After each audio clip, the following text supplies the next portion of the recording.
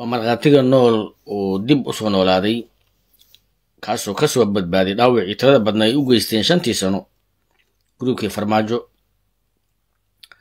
Sidaa awgeed mar labaad ayuu markhaatiga nool dhaawiciisa isagoo jeedinaya wuxuu rabaa inuu haddana ka qayb qaato muddo xilli dheer ah oo uu ku soo jiray dagaal kaasoo ay jilbaha iyo lugaha ka soo ka tumeen dhaawacyo badan ka gaarsiiyeen walaalihii farmaajo taageersanaa jiray iyo gruubkii buq iyo baq iyo qiiq iyo dhuuq sidaa awgeed waxaan rabaa markhaatiga nool mar labaad ha la soo falow gareeyo marka hore hana la sheergareeyo. Caaway markhaatiga nool wuxuu rabaa inuu laba xaba ka yidhaahdo taariikhda. Taariikhda oo aadan oqoonin waxay ka dhigan tahay meesha u socotid inaadan oqoonin waana sababaha dadyowga xilliga dheer dhibaatadu haysata markay guulaystaan ay u garan waayaan haysashada hanashada guusha ay gaareen sida abay axmed caaw uu ku socdo iyo sida mar badan oo ay dadka tolkay hawiye guulaysteen ay booniga u beerdareeyaan marka hore waxaan rabaa inaan idhaahdo ugu caaway dowladdii egypt masar waxay ka baxday heshiiskii biyaha niilka iyo wadahadalkoodii taasoo ka dhigan waan dagaalamaynaa.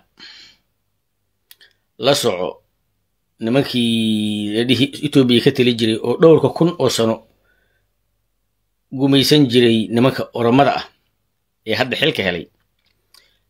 Waxaa waa isqaybiyeen. Qayb waxay soo raaceen abay axmed oo waxay ku sameeyeen wixii hawiyaha lagu samey jiro jira raac oo dhumi. Qaybna dagaal bay ku jirtaa. Qaybtii ugu dambaysayna way diyaar garoobaysaa sidaa awgeed. Waxaan arkay bahal cowl ah imbala oo uu qabsaday jagwar ama shabeel yar uu qabsaday kadibna dhurwaa intuu ku soo orday. Dhurwaagii uu ka fujiyey dhurwaagii jagwarka xoogaa uu sii eriday ayaduna istaagto iska baxday. Waxaan rabaa inaan la hadlo ummadda anigu aan ka dhashay oo hawiye hawiyow xilligii farmaajo ilaahay wuxuu idinka bixiyey waxa ay ka baxsatay cawsha yarta imbaalada yarta. Haddii aysan isku kici lahayn tigree iyo esyaas afwark iyo abay axmed haddaysan dagaali lahayn iyo fanno hawiye meel dheeraa laga goobi lahaa. Halkaasuu farmaajo ku dhegi lahaa. Eritrea iyo etoobiya wada socda farmaajo in loo geeyey adis ababa ninkii la jira muuse biixi farmaajo in la rab in laga dejiyo haddii ilaahay kornay hargeysa. Farmaajo in nairobi la geeyey haddii ay suurto geli lahayn qofku moogsoonta khatartau ka baxay markuusa ogeyn nasiib laguma noolaa karo. Dadka hawiye waxay doonayaan inay nasiib ku noolaadaan. Sidaa awgeed xilligii farmaajo waxaan ka badbaadnay khatarta ay ka badbaadday cawshii ou jagwarku qabtay ee dhurwaagu ka fujiyey ee jagwarkii dhurwaagii intay murmayeen baxsatay. Maalin kastana nasiib laguma noolaa karo. Taa hawiyaan leeyahay inay dib u xasuustaan. Qaybtaasaan ka soo qaadanaya. Waxaan rabaa inaan idhaahdo caawa waxaan rabaa inaan la taliyo. Nimanka leeyahay oromo oromoy abay axmed waa idinla kufay. Buuraleyduna waa idin qabsanaysaa tigreena waa la diyaariyey tigreena waa la diyaariyey fannana waa diyaarsan tahay oromoy shan kunoo sana la idin gumaysanayay meesha aad garabka ka heli jirteen soomaaliyay ahayd oromay abay axmed waa qaraska tuur oromay abay axmed waxaa hoosta uga jira xaaskiisa iyo amxaaro kuwaasoo dhuminaya oromoy dantiinna waxay ku jirtaa inaad iska fiirisaan shan kun oo sano kuwii idin gumaysanayay magacyadiin idinka bedelay.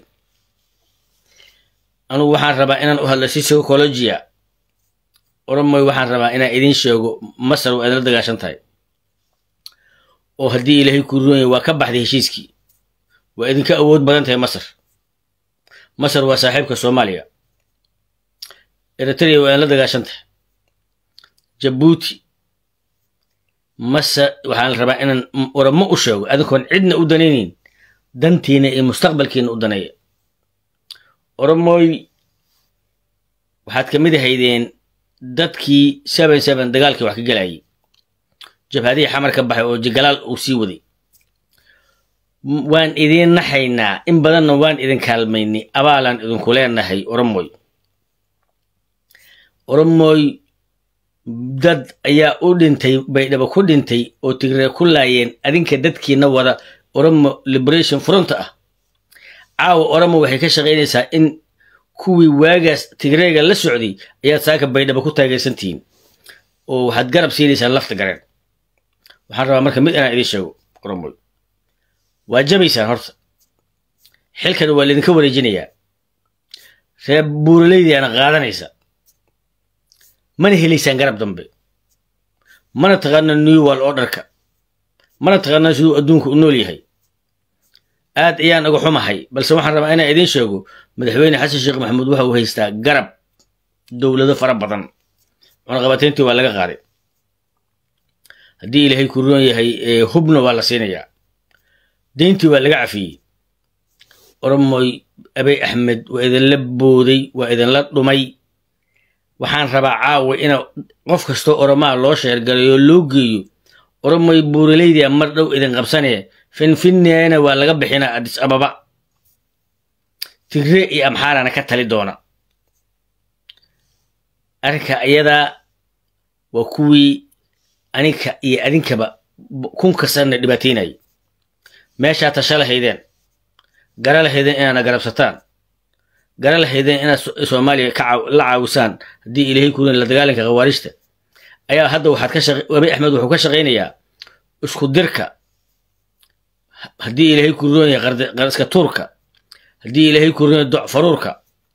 Haddaba boqolkii sano ugu dambaysay xaggee oromo laga taageerayay. Lixdankii sano ugu dambaysay xaggee oromo jabhad ka soo noqonaysa intiiba waa beerdarayseen waa eritrea iyo soomaaliya. Labadiiba caawa ma haysaan. Caawa waxaa la hubaynayaa fanno oo adiga adiga kula talinaysa oo ku dhuminaysa. Iyo tigree iyo haddii ilaahay ku roonay nimankaad warshooda burburiseen. Suudaan heshiis lama ihid. Kenya heshiis lama ihid. Jabuuti heshiis lama ihid. Soomaali heshiis lama ihid abay axmedow. Jabuuti lama ihid. Eritrea lama ihid. Waad dhumisay oromo siyaasad jabhayadaa wadataa xaq uma lihid inaad etoobiya xukuntid. Sidaasaan leeyahay oromona waxaan leeyahay jawar axmed iyo raggii ragga lahaa walaayaalow tashada dad muslimha idinka buuxa masaakiinaad tihiin siyaasaddu waa ka dhacsan tihiin. Kama warqabtaan reer galbeed inay idinka aarsanayaan? Aniguse intaas markaan oromo leeyahay waxaan u jeedaa in oromo ay kuftay. Sidaasaan rabaa inaan kula taliyo oromo halkaana u soo noqonayaa maxay ka dhigan tahay in ay ka baxaan nimankii la dhihi jiray masar? Soomaaliya inay masar ka baxaan heshiiskii webiga niil iyo biyo xireenkii etoobiya wadahadalka kula jiri jireen. Maxay ka dhigan tahay? Masar waxay awoodaa inay saaka gantaal ku dhufato biyahaas kuwaasoo nuclear ka shar badan. Masar waxay ilaalisaa dana tiro badan oo reer galbeedku leeyihiin masar waxay ilaalisaa haddii raashinka iyo webigaas niilka reer galbeedna kalama gorgortamayaan. Haddii ilaahay ku roon yahay reer israa'iil kalama gorgortamayaan. Carab oo dhanna indheheedii waay masar. Sidaa awgeed meeshaas masar waxay heshay fursad dahabiya. Annaka dahab noo ah. Inayna caawiso badda timaado ciidanka nala dhisto waa isu baahannahay. Maxaa yeelay annaka haddaan nahay dadka soomaaliyeed ma haysanno walaal. Kuwaan kaalmayno waana dhibaateeyaan etoobiya mar kasta weeraray nagu tahay. Hore iyo gadaalba taariikh fiican nagama dhexayso hadda lafta gareen waxa waxa soo diraya oo haddii ilaahay kurooya garab ku siinaya dulmiga waa abay axmed.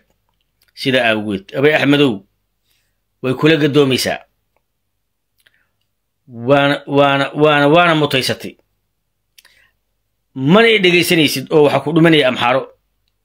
Qof kastoo oromaahow walaalow dhibkaaga horena waa isaameeyey dhibkaaga dambena waa isaamaynayaa ninkaas la taliya oo xilka ha iska wareejiye maba wareejinaye oo muqdisho ha yimaado oo soomaaliya ha yimaado oo ha ka baxo colaadda uu beeraayo ma qaadi kartaan garab ma helaysaan maydnaan lugaha dhulka maydnaan dhigan. Sidaasaan leel sidoo kale waxaan rabaa inaan dhaho dowladda masar waa dhoweed markii xasan sheekh maxamuud uu aaday.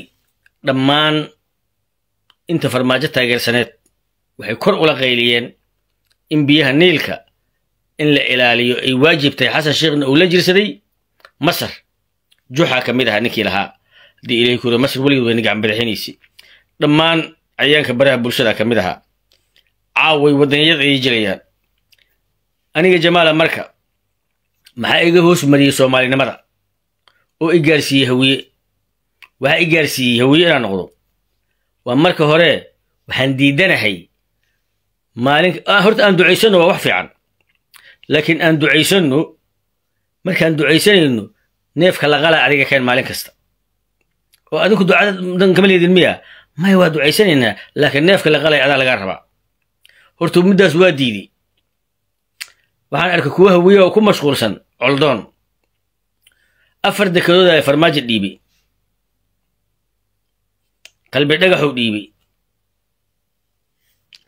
haddii ilaahay ku roon yahay etoobiya u go'ay ninbaa baabuur saartay.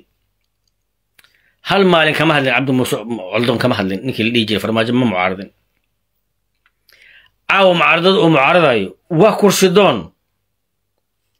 Labo diinta ay ka hadlaan. Khawaarijta cali dheere iyo mahadkaratay iyo fu'aad shangole diin miya? Ma ka dhab baa diintaas? Ka dhab maaha abey axmed hadallada uu sheegayo soomaaliya inaan wax la qabsanaan rabnaa ma ka dhab baa dhab maaha inuu dhaco rabaa ma naga dhexaysaa oo soomaalida etoobiya gudaheeda degan nolol fiican ma haysataa maya ma haysato. Ma ogol yahay isagu gumaysto maahayne gumaysto hore oo amxaar ahaa iyo reer galbeedka soomaalida kelinka dhiibay inuu soomaalida kelinka soomaaliya ku soo celiyo si aan u aamin inuu qalbi fiican yahay. May ma awoodo waxuu aaminsan yahay idolojiyadii abasiniya iyo burileyda isku soo duuba waxaan rabaa inaan dhaho walaalayaal waddaniyadda laablakaca ah ee aan jirin waxay la mid tahay muslimnimada laablakaca ee khawaarijta. Caaway xasan sheekh iyo hadday murmaan lafta gareen. Dhammaan inta waddaniyiinta ah waddaniyiinta sheeganaysa xasan sheekh ka soo horjeedaan waxaan arkaya maanta faarax dawaaro hadlaya wuxuu leeyahay xasan sheekh maxamuud hee laba nin oo saaxiibadayaan u diray. Waa sheekh shariif iyo haddii ilaahay korona khayre. Waa u dhaartay laakiin weli waa ka muuqataa xasan soo u dhaqmaayo khiyaanuu ku jiraa xasan waxbuu ka seexay markaan leeyahay xasan sheekh maxamuudaa loo jeedaa ee cid kale looma jeedo waa intaa faarax dawaaro wuxuu aaminsanaa in farmaajo og yahay waddani fulay ah. Faarax dawaaro wuxuu ogaa farmaajo diyaurad uu ku wato abey axmed. Inta u wad inta u wad inta u wad somaliland aan ku geynaa kenya keenay xagga u geeyey meel kasta uu ku sameeyey. Faarax dawaaro wuxuu ogaa farmaajo afar degooda seexay ma ka hadlin